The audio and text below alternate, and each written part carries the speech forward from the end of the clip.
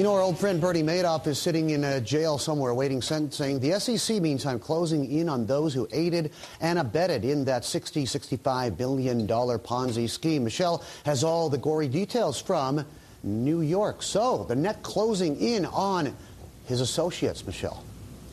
That's right, Bernie. You can run, but you can't hide. And a New York brokerage firm and a prominent California investment advisor were secretly controlled by Bernard Madoff.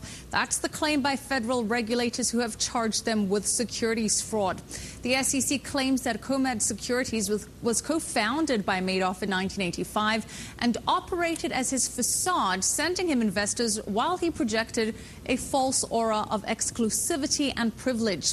Cohmad chairman Maurice Sonny Cohn, chief operating officer Marcia Cohn, and vice president Robert Jaffe were all named in the suit, and they're accused of funneling billions of dollars from investors into Madoff's pyramid scheme.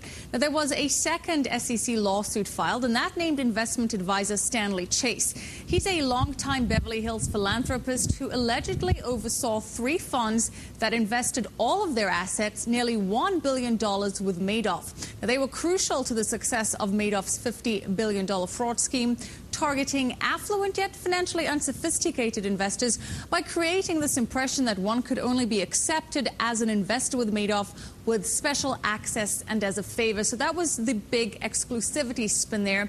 And Cohmad and Chais were said to have gained nearly all of their revenue from introducing investors to Madoff in what the SEC describes as a well-oiled marketing operation. Now, Cohmad's main office was in the Lipstick Building on Manhattan's Third Avenue, Bernie. That's uh, we can see that from the Bloomberg Building here. And that, as you know, is the same address as Madoff used for his investment and securities brokerage firm. Well, Jaffe and Chais, through their attorneys, are both disputing the SEC's allegations. Bernie? Wow. Lipstick building, Flatiron. You got really cute names there for buildings. What's the recourse uh, potential? Uh, Michelle, is this all for show, or are they actually going to be able to reel some of the money back? Does the money still exist?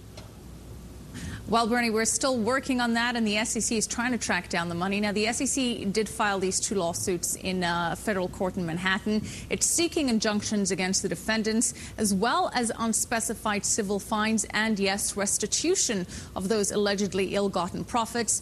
The trustee, Irving Picard, is trying to retrieve funds to pay off thousands of the claims from those Madoff uh, clients that were cheated. Bernie?